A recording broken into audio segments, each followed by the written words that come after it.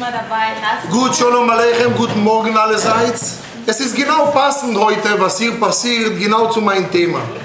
Wirklich, es ist sehr gut, dass man isst und man trinkt und es ist Männer und Frauen und Kinder und Fremden. Sie wissen, die größte Veranstaltung in der jüdischen Geschichte war die Mitzvah von Hakhel. Hakhel bedeutet, jeden sieben Jahre nach Shemitah, am zweiten Tag vom Sukkot, alle jüdischen Männer, alle jüdische Frauen, alle jüdische Kinder sind gegangen nach Jerusalem. Das heißt, ein Kind vor Bar Mitzvah ist nicht verpflichtet, Mitzvot zu machen.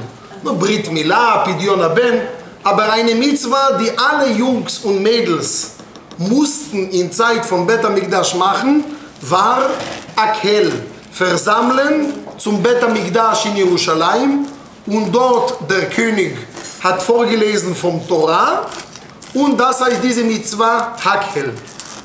Und interessant, steht geschrieben, nicht nur Männer soll kommen, sondern auch Frauen und auch Kinder. Aber nicht nur Kinder, auch Taf, kleine Kinder und auch Bruststillende. Das heißt, auch wenn ein Kind ist von seiner Mama, auch er ist verpflichtet zu gehen nach Jerusalem. Und unsere Frage ist heute, warum muss man Kinder bringen nach Jerusalem zu dieser Veranstaltung? Und ich habe gefunden acht Gründe in unseren Schriften, wieso, warum, weshalb müssen wir die Kinder und die ganz kleinen Kinder bringen in Jerusalem. Ich werde sagen in Klammer, Sie wissen, heute, wann soll man bringen ganze Babys in die Synagoge? Wann? Wann soll man bringen Babys in die Synagoge? Einmal bei Shavuot, wenn man liest die zehn Gebote, und auch am Simchat Torah. Das heißt, sonst Babys haben nicht was zu suchen in die Synagoge. Kinder, die können sitzen mit Vater und Mutter vier, fünf Jahre, ganz ruhig, soll man bringen in die Synagoge. Deshalb, wir lesen jetzt acht Gründen, warum bringt man Kinder in Bet HaMikdash nach Jerusalem. Die erste Meinung ist, warum? Um zu belohnen den Vater und die Mutter. Warum? Es gibt eine Geschichte in Talmud von Rabbi Joshua, wenn die, wenn die Mama von Rabbi Joshua war schwanger, sie ist gegangen von einer Synagoge zu der anderen und sie hat gesagt, die Weisen, bete für mein Kind, bete für mein Kind, die ganze Zeit. Und wenn er ist geboren, sie hat gebracht seine Wiegele zum Lehrhaus und sie hat gesagt, soll seine Ohren sollen hören Torah. Und deshalb der erste Grund ist, dass der Vater und die Mutter und die Frau sollen beginnen, ihre Kinder erziehen, in Bet HaMikdash soll er hören Torah, original. Zweite Erklärung, ein Kind kann nicht alleine zu Hause bleiben. Ein Kind, wenn er ist ein Baby, braucht er seine Mutter und er muss mit ihr gehen. Wenn der Vater hat eine Pflicht zu kommen und die Mutter hat eine Pflicht zu kommen, wo soll das Baby bleiben? Dann muss man die Babys auch mitbringen. Dritter Grund. Sie wissen, Mutter, wenn sie bekommt ein Kind, wenn er ist klein, sie hat für ihn Sehnsucht. Und wenn die Mama ist in Jerusalem und das Kind bleibt alleine zu Hause, die Mama ist nicht konzentriert. Und wo ist, für wem ist die Liebe größer? Für Gott oder für ihre Baby? Normalerweise für Baby. Deshalb gibt es ein Gesetz, Vater und Mutter dürfen nicht in die Synagoge küssen ihre Kinder. Das ist verboten. Um nicht zu zeigen, dass die Kinder sind süßer als Gott. Also in die Synagoge darf man nicht küssen. Willst du draußen küssen, dein Baby, küssen die ganze Nacht, den ganzen Tag. Sehr gut, aber in die Synagoge gibt man einem Baby nicht einen Kuss. Zum Beispiel die sphardische Juden, wenn sie sich treffen in die Synagoge, sie machen immer, sie, sie machen so, so wie die Französen. Sie machen immer so zwei Kuschen, von rechts und von links. Darf man in die Synagoge so einen Kusch geben? Ja. Warum? Weil so ein Kusch ist ein Kusch von, äh, nicht vom Liebe, das ist ein Kuss von Benehmung, von Höflichkeit, Höflichkeit so traditionelle Kuss. Deshalb, der dritte Grund, warum bringt man Kinder nach Bet HaMikdash nach Jerusalem, um nicht Sehnsucht haben zu den Kindern. Jetzt kommt vierter Grund. Sie wissen, Kinder ist schwer, aber Kinder ist auch Ausrede. Eine sehr elegante Ausrede. Wenn eine Frau geht besuchen ihre Freundin und sie will nach halbe Stunde weggehen, was sagt sie? Oh, jo, jo, ich habe die Kinder gelassen bei einer anderen Frau, ich muss schnell gehen. Also, aber was passiert, wenn eine will lang bleiben? Was macht er? Wenn du gehst zu deiner Freundin und du willst lang bleiben, was machst du? Nu?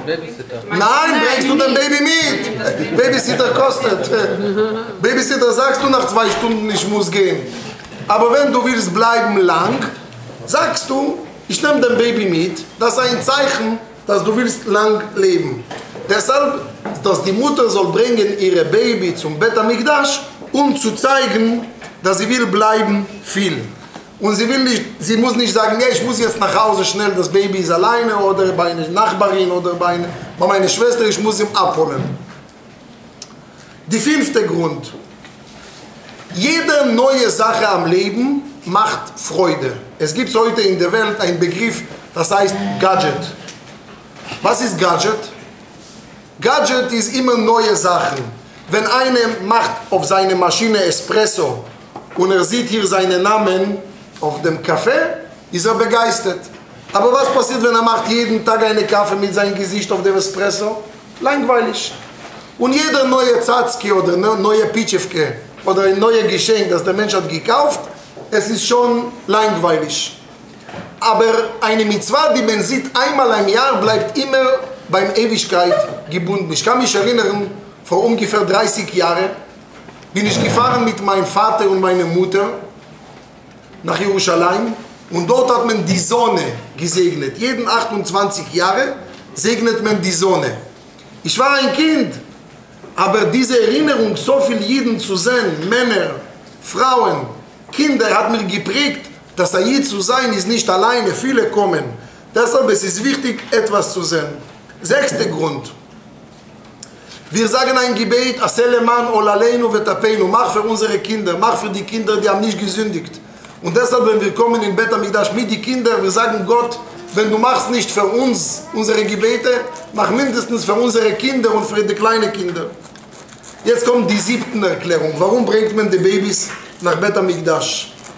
Steht geschrieben, eine Frau in Zeit von Bet Amikdash, wenn sie ist gekommen nach Jerusalem, hat sie nie verloren ihre äh, Baby. Und steht geschrieben, dass nie von diesem Geruch in Jerusalem hat eine Frau ihre Baby verloren. Und deshalb, man wollte, dass die jüdischen Frauen sollen gesunde Schwangerschaft haben und sollen sie riechen gute Sachen. Und dieser Geruch von Gdusha, was war in Bet Amikdash, kommt in Herzen. Jetzt kommt die achte Erklärung. Die achte Erklärung ist, was ist besser? Meine Erziehung oder die Erziehung von meinem Kind? Was ist besser, meine Vollkommenheit? Mein, was ist besser, dass ich bete richtig oder so mein Kind soll richtig Natürlich beten? Kind. Wer sagt natürlich? Das ist das Wichtige. Meine Nicht Eltern, immer, das ist nicht immer, meine Eltern. nein, nicht immer. Ja? Nein, und ein Beweis, man braucht nicht jeden Schabbes bringen, die Kinder in die Synagoge sich stören. Ich muss beten, nicht die Kinder. Aber von Zeit zu Zeit sagt Rebnossen Adler, ein Rabbiner in Frankfurt, ein Mensch soll ein bisschen seine Vollkommenheit und seine Wille zu steigen reduzieren und denken an die Kinder. Das ist die erste Sache, was wir beginnen. Dann gehen wir weiter. Das ist eine tolle Sache. Wenn ihr versteht diese Sache, ihr werdet verstehen, was ich sage. Wenn ihr nicht versteht, etwas fällt euch an meine Sprache. In unserer Parascha, Josef trifft mit seinen Brüdern. Und vor dem, dass er zeigt seine Brüder, dass er ist Josef, was macht er? Was sagt er? Alle fremde Leute, bitte raus. Warum alle fremde Leute bitte raus? Weil wenn Familie hat Politik, Schwierigkeiten, schmutzige Wäsche, hier am Tisch. Die, die nicht passen, draußen bitte. Wir klären unsere Sachen nur unter die Kulissen, zusammen. Und dann, was macht Josef? Er spricht zu seinen Brüdern in welcher Sprache? In Lashon HaKodesh, in Ivrit. Und er sagt zwei Wörter. Ani Yosef. Ani Yosef. Und sie gucken auf die Seite, wer spricht Ivrit. Sie haben nicht gefunden. Was macht Yosef? Öffnet seine Häuser und zeigt seine Geschwister sein Brit Mila. Sie waren schockiert. Sie haben gesehen, er ist beschnitten. In dem Moment, wo sie waren so geschockt von seiner Brit Mila, von seiner Beschneidung, dass er ist Aid, er hat gesagt, Einechem aroot kipi amedaber alechem. Ihr seht mit euren Augen, dass ich spreche zu euch eure Sprache. Was passt nicht in diesen Satz? Was passt nicht in diesen Satz? Eure Augen sehen, dass ich spreche in eure Sprache. Er spricht, wie, äh, sie, sie sollen mit Ohren hören. Was soll man sagen? Osnechem. Eure Ohren hören, dass ich spreche in eure Sprache. Wieso eure Augen sehen, dass ich spreche in eure Sprache? Jetzt kommt etwas sehr interessant. Sie wissen, es gibt jeden von Russland, es gibt jeden von Usbekistan, es gibt jeden von Taschkent, es gibt jeden von Grusia, von Bukhara. In jedem Land, wo jeden haben gelebt, waren zwei Sprachen. Eine Sprache, was man hört und eine Sprache, was man sieht.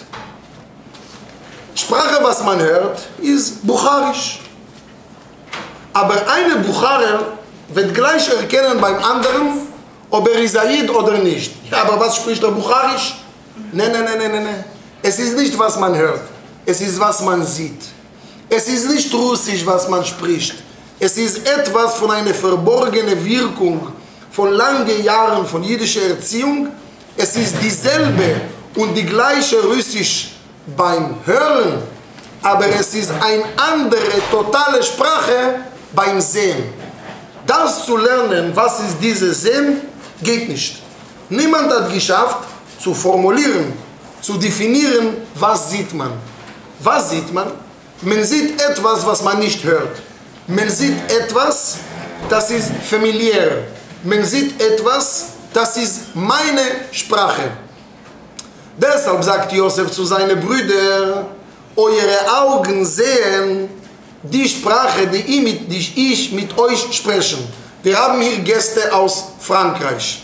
Ich bin sicher, sie werden mir das stimmen. In Frankreich reden die Jiden Französisch. Aber ein Jid, der hört ein anderer Jid, der spricht Französisch, er wird gleich erkennen, seine Französisch ist ein bisschen anders. Nein, nein, nein, was ist anders? Dieselbe Sprache. Jetzt kommt die Antwort. Es ist nicht jetzt Grammatik oder klare Sprache oder 100% zu sprechen oder Akzent vom Geboren oder nicht. Das ist eine seelischen Fingerabdrücke, die die Mutter hat gegeben ihre Kinder.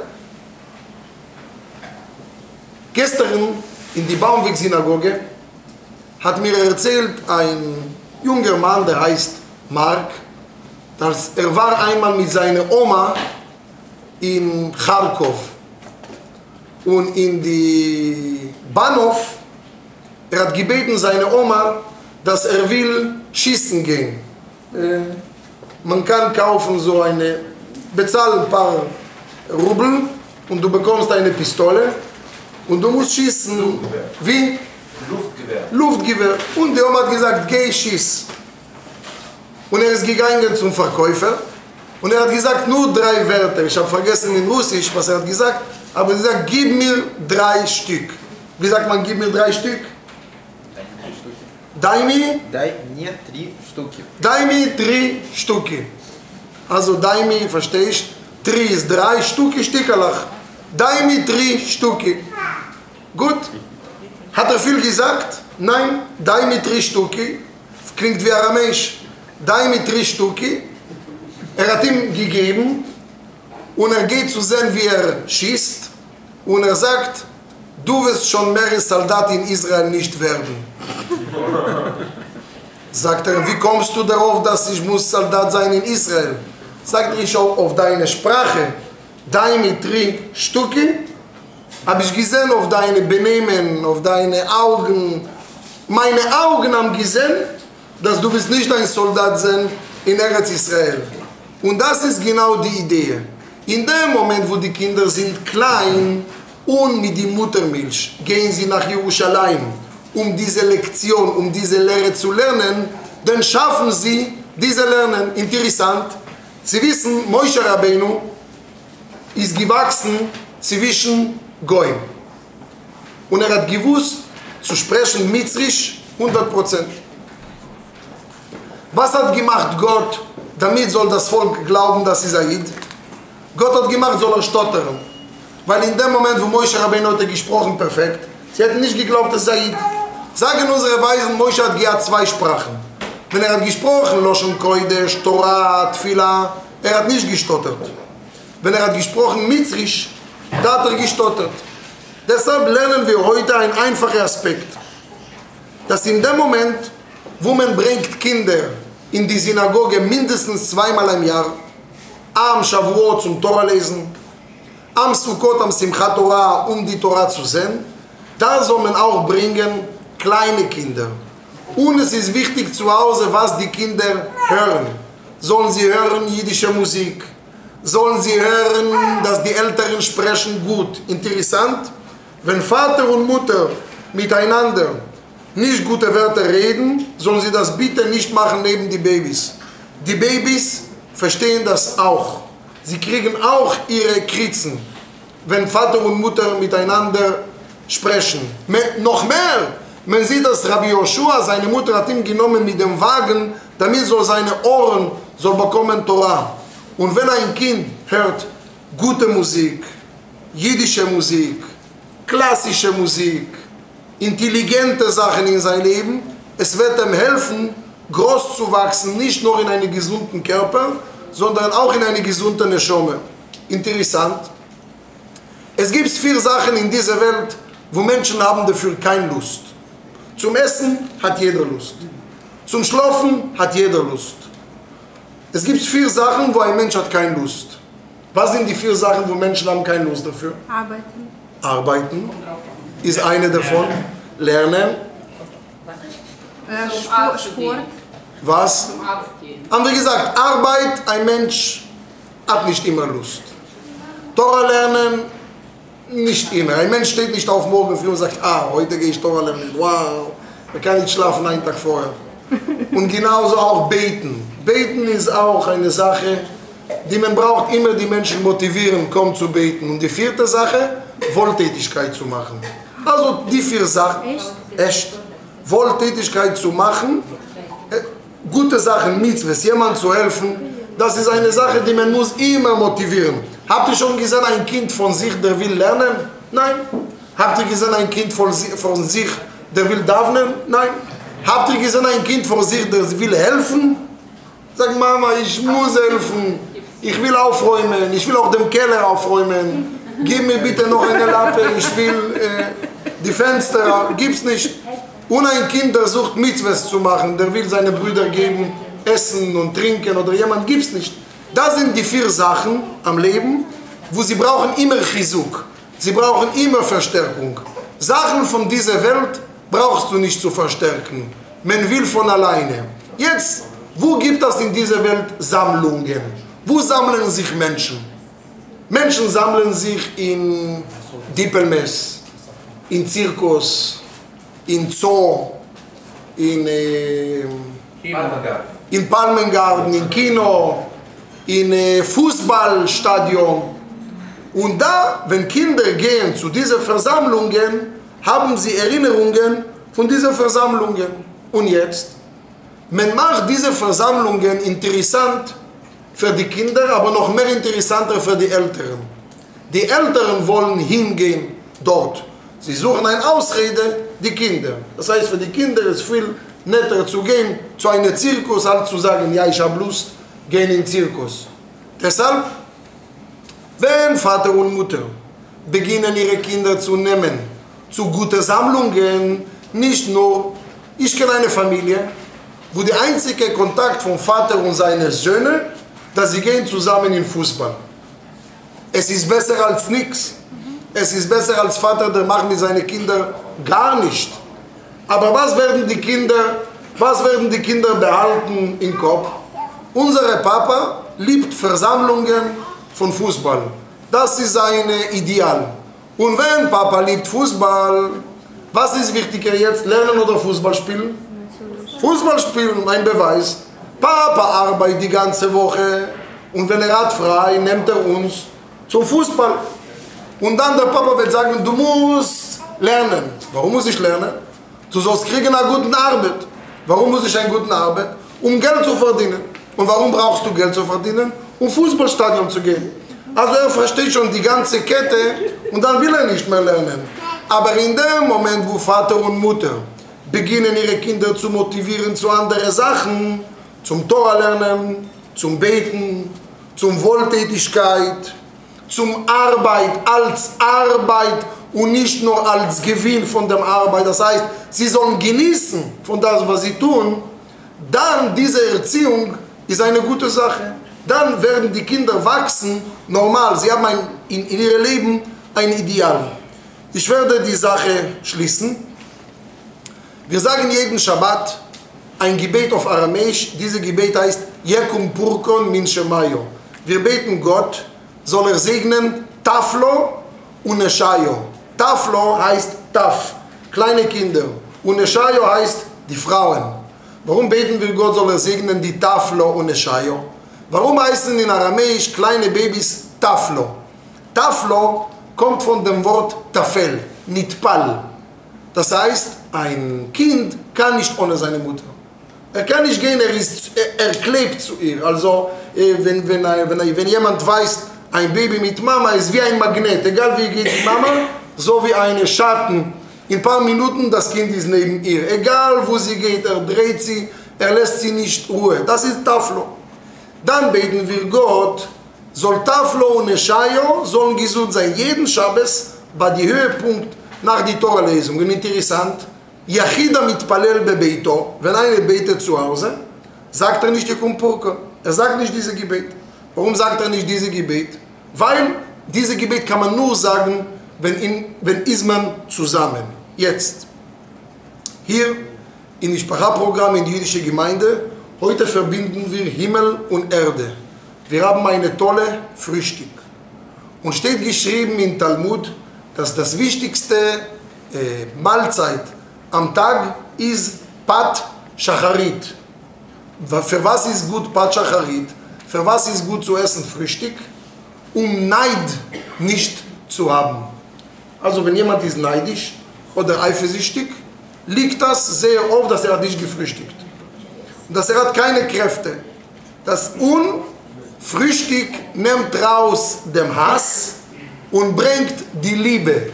Also steht geschrieben, Pachacharit, Mozia et nimmt raus dem Hass und bringt die Liebe. Sehr oft siehst du Menschen, die sehr nervös sind. Es liegt das meistens an drei Sachen. Oder haben sie bei Nacht gestritten mit dem Partner und danach haben sie nicht geschlafen. Und zum Schluss haben sie nicht gefrühstückt. Wie kann man alle Sachen ein bisschen reduzieren? Zuerst nicht streiten, später gut schlafen und zum Schluss Frühstück auch zu essen. Aber falls von diesen drei zwei sind passiert, man mindestens beim dritten achten. Das liegt an dir, also Beziehung liegt nicht immer an dir und das will ich ein paar Leute beruhigen.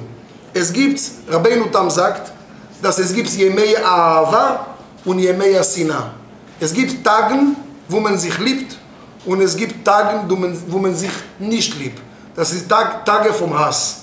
Es liegt nicht an dir, du stehst auf links, am dem Tag bist du klein, knöppeldick, du bist ärgerlich, ohne Grund objektiv. Sagt Rabbeinu Tam, sollst wissen, es liegt nicht an dir. Es liegt an Gott, er gibt uns in dieser Welt verschiedene Tage. Was macht man an solchen Tagen? An solchen Tagen, in die irdischen Sachen, soll man ein bisschen locker lassen. Das ist nicht der Tag jetzt zu putzen, die Wohnung. Das ist nicht jetzt der Zeit, die Berg von den Bügeln zu erledigen. Das ist nicht in der Zeit alle Papiere. Aber Sachen vom Geist, Sachen vom Tora, vom Lernen, vom Steigen, an dem Tag, wo der Tag ist daneben, das ist der richtige Tag, das zu tun. Interessant. Jahrelang hat mich gewundert, das was steht in Talmud, wenn jemand hat Kopfschmerzen, was soll er machen? Was steht geschrieben in Talmud? Lernen. Lernen. Verstehe ich nicht. Wenn ich habe Kopfschmerzen, habe ich keine Lust zum Lernen. Ich will nicht lernen. Sagt der Talmud, nein, hast du Kopfschmerzen? Das ist der Tag von Himmel, wo hat man dir gegeben ein Hasstag. An dem Tag kannst du nicht erledigen. Die einzige Sache, was du machen kannst an dem Tag, ist lernen. Versuch zu lernen und zu steigen. Und mach das bestens. Wenn jemand will was fragen oder bemerken, bitteschön. Ich werde ausführlich erklären, wenn etwas war unklar oder ihr wollt was mehr soll Also ich... ich kann es mir nicht vorstellen, wenn richtig Kopfschmerzen hat, dann äh, geht auch nichts in den Kopf rein. Es muss nicht in den Kopf reingehen, aber es muss gelernt und wiederholen. Und in dem Moment, wo ein Mensch bricht sich und er kämpft gegen sich, er wird dem Kopfschmerzen wegnehmen. Ja, das ist die Idee. Sie glauben auch nicht. Weil das Lernprozess erfordert einen freien Kopf. Und Das, das, das ist widersprüchlich. Wenn ich Kopfschmerzen habe, dann kann ich keinen Lernprozess nicht Also ich bin sehr sprachfähig. Also ich wüsste nicht, wie das geht. Lernen, also oder studieren. Weil das ist halt Okay, ich nehme mir zur Erkenntnis eure Frage. Ich werde das noch einmal mein Rebbe fragen. Ich nehme deine Frage sehr seriös. Da weiß ich nicht, was zu beantworten.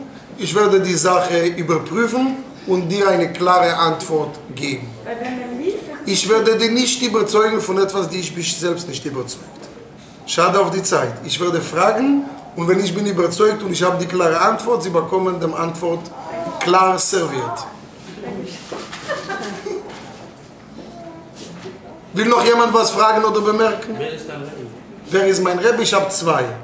Ich habe ein Rav und ein Maspia. Jeden Mensch steht in Sprüche der Väter zweimal Aselecha Rav. Schaffe dir ein Moment. Schaffe dir ein Lehrer. Einmal steht geschrieben, schaffe dir ein Lehrer und erwerb dir einen Freund. Einmal steht geschrieben, schaffe dir einen Lehrer und befreie dich von dem Zweifel. Jeden Mensch braucht in seinem Leben zwei Rabbanim. Eine für himmlische Sachen, erlaubt, verboten, kasher, taref, in Ordnung, nicht in Ordnung, Parve. Parve, milchig, fleischig, ja machen, nicht machen, ja fasten, nicht fasten, diese Sachen. Ja früher Kiddush, na ja später Kiddush. Und der andere Rebbe ist so wie ein Coacher für weltliche Sachen, für profanen Sachen, für eine, der, der dir beeinflussen kann. Das heißt, eine soll sein in deine gefällt. Genau, weil ein, a- eine, die du dich gut kannst und du kannst ihm auch fragen, äh, einfache Fragen vom Alltag, ist normal. Ich würde so sagen, der Rebbe, der entscheidet die Halacha, er ist so mehr Richtung Schamai. Er ist so, ja, nein, Asur, Mutar, Ta- Taref, Kasher. Und der andere Rebbe ist Hillel. Ist, ist so Richtung, er versteht dir, er versucht dir eine Lösung zu geben. So ein, wenn- vielleicht in andere Wörter, so ein Coacher, so ein, ein, ein guter, wie? Motivator. Motivator, ein guter Berater. Deshalb braucht man doch zwei. Wobei der andere Rebbe als Motivator, als äh, objektiver Ratgeber kann auch sein ein guter Freund.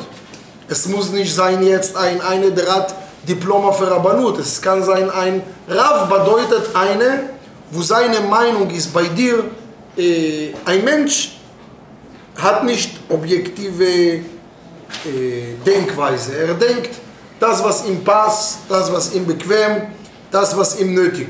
Kommt jemand von außen und er sagt, mach das oder mach das.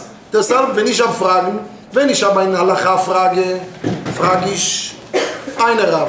Wenn ich habe eine Frage von menschlichen Umgang, jemand hat dir geärgert, soll man ihm antworten oder nicht? Was soll ich machen? Ich muss mit jemandem beraten. Ich rufe ihn an und ich stelle ihm die Frage. Manchmal sagt er schweigen, manchmal sagt, triff ihm in vier Augen und sag ihm, dass du bist verletzt. Also es ist immer, weil ein Mensch, wenn er alleine entscheidet, meistens macht er einen Fehler.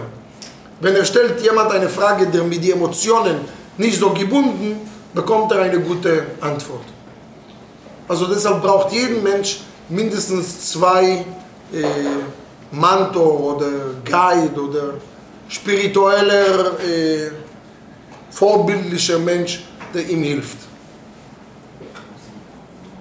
Auch die größten Rebis der Welt haben immer gehabt eine, wo sie haben bei ihm äh, ihre Zweifel gelöst. Weil steht geschrieben in Talmud, ein Chavush matir atzmo mi bet asurim. Ein Mensch, wenn er ist im Gefängnis und er ist gebunden, er kann sich nicht öffnen vom Fesseln, er kommt zu ihm, mach auf. Siehst du?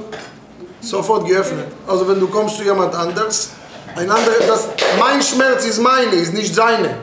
Wenn etwas bei mir im Herzen, ich kann das nicht lösen. Aber wenn ich komme zu jemand anders, jetzt ist nicht sein Problem. Nicht in sein Problem. Kann er mir einen logischen Rat geben. Und da kann man die Sache... Ja. Wollt ihr noch eine Geschichte zum Schluss? Ja. Okay. Ja. Es war in Ungarn eine Familie mit ein paar Kindern, mit einer sehr guten Frau, die alles richtig gemacht, aber ihr Mann, ihr Mann hat kein Masel. Alles, was er hat gemacht mit Parnosse, war daneben. So wie der Witz von dem Even Ezra. Wenn er hat begonnen zu verkaufen Totenkleider, die Leute sind nicht gestorben. Wenn er hat begonnen zu verkaufen Kerzen, es ist nicht dunkel geworden. Also egal, was hat er in der Hand genommen, er hat begonnen zu verkaufen Kleider von Winter, es war kein Winter. Also, masellos Mensch. Aber eins war bei ihm sehr gut, ist er gegangen jeden Morgen früh zum Davnen. Steht geschrieben, wenn ein Mensch hat nicht Parnos, er hat nicht keine Arbeit und er will, soll Gott ihm helfen, soll er ganz früh aufstehen zum Davnen, weil früh morgen kann man noch fischen, angeln. Und Gott wird ihm helfen, weil Gott hört ihm zuerst. Wenn einer kommt im Gebet um neun, um zehn, alle, alle haben schon gedavnt, alle haben schon gebetet, Gott ist schon besetzt. Also wenn jemand will gehen, ich kann mich erinnern, wenn wir stehen als Ausländer in Ordnungsamt, um zu bekommen ein Aufenthalt. Um wie viel Uhr musst du kommen? Oh, um fünf. Um vier, warum? Weil wenn es ist geöffnet, um sieben bist du der Erste. Was passiert, wenn einer sagt, na, ich komme um sieben? Bitte schön, komm um sieben. Du gehst rein um zwölf. Also wenn du willst reingehen, der Erste, komm ganz früh. Also der Mann ist jeden Morgen früh aufgestanden. Ein Morgen, Winterzeit, geht er auf die Gassen und vor ihm fährt ein Kutscher mit schnelle Post. Schnelle Post. In die Zeiten waren zwei Arten von Post. Auch heute gibt es Expresspost und Langsampost. Aber damals war das mit Kutscher und Wagen. Und von dem Expresspost sind gefallen zwei Umschläge. Eine dicke und eine dünne. Und unsere Jidele, Reb Chaim Scholbrach, hat genommen die Düne und er hat geschrien, hey Kutscher, hallo, stopp! Und er hat ihm gegeben die Düne. Und die Dicke, sein Trieb konnte nicht herrschen, hat er versteckt in die Tasche. Kam nach Hause, er öffnet die dicke Umschlag, volle dicke Scheine Geld. Er sagt seine Frau, Maseltov, wir sind reich geworden. Sagt sie, wieso? Sagt er, Gott hat geschickt äh, Geld. Sagt sie, wie schickt Gott Geld? Erzähl. Sagt er, heute Morgen bin ich gefallen vom Po. Sagt sie, Gott, das bist ein Ganev. Du bist ein Dieb. Und sie werden dir noch finden. Was Ganev?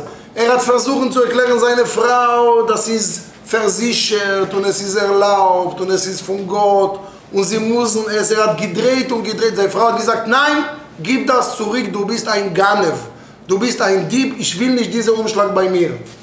Der Mann ist geworden sauer, er hat seine Frau beruhigt und sie haben den Umschlag versteckt. Bei Nacht, Polizei, guten Abend, Shalom. Sie haben heute Morgen gefunden, Umschlag mit Geld und gleich Avera goreret Avera, eine Sünde bringt eine Sünde. Sagt er, nein, nein, nein, ich habe eine gefunden, habe ich zurückgegeben. Sie haben gesagt, ja, aber es gefallen zwei. Die unwichtige hast du zurückgegeben und die gute hast du behalten. Mit sehr viel Geld war drinnen. Sagt er, nein, nein. Sie haben gemacht, gesucht zu Hause, haben sie nicht gefunden. Sie haben gesagt, bis wir finden nicht den Umschlag, du gehst in Gefängnis. Hat man ihn genommen in Gefängnis und er saß eine Woche, zwei, drei. Und in diese drei Wochen sind gekommen alle Nachbarn und haben die Frau getröstet, du Arme, dein Mann ist bestimmt kein Ganev, der hat bestimmt nicht geklaut, so eine Miese, Schicksal und so. Nach drei Wochen hat die Frau entschieden, sie muss Änderung haben. Ihr Mann sitzt im Gefängnis, Umschlag ist zu Hause, was macht man? In Mitternacht nimmt sie den Umschlag und sie geht zum Rabbi David Pappenheim, der Rabbiner damals in Debrecen in Ungarn. Und in Mitternacht, wo er sitzt und lernt, nimmt sie den Umschlag mit Geld, werft sie von seinem Fenster und läuft weg.